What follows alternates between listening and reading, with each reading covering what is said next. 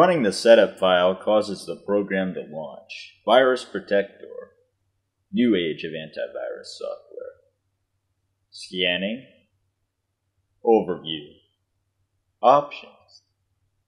Privacy. Update. Oh, you must register to update. The credit card acquisition page wasn't working. Ah, okay. Icon in the system tray. The real trouble starts, however, when you reboot.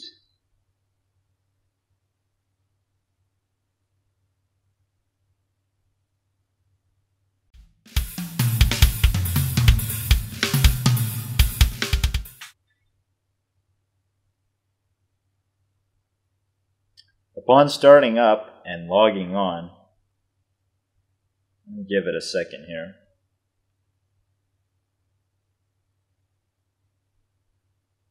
There it is, before Explorer even starts up. And it's scanning. And uh, this doesn't look good. Hmm, Task Manager's disabled. Control Alt Delete doesn't work. If I close it, it's over. I, there's nothing I can do but push the power button to shut down. I still can't get to Task Manager. Not good.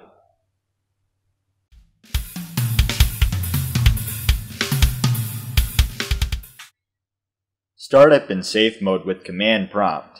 Yes, it even starts up in regular safe mode. So we have to use the command prompt version of safe mode.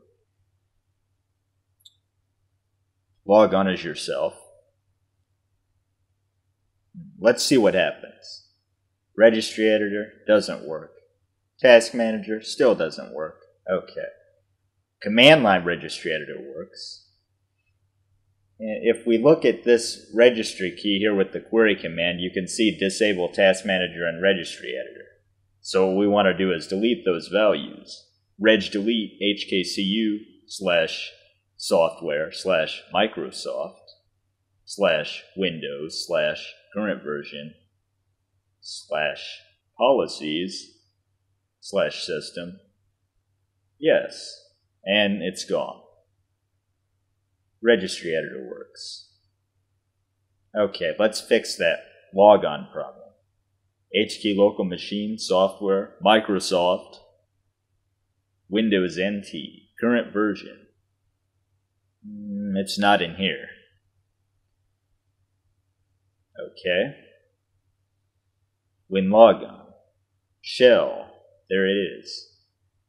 There it is, definitely. Change this back to explorer.exe and enter the text, click OK. Close registry editor, shut down space slash R space slash T space zero, and we're rebooting.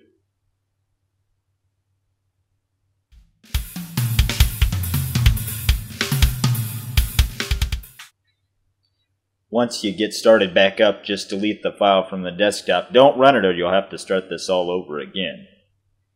And Task Manager's working. And let's try Registry Editor.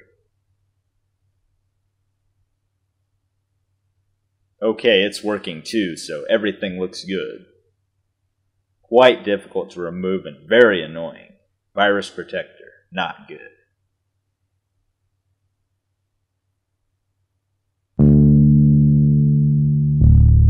MC Beatbox for the win.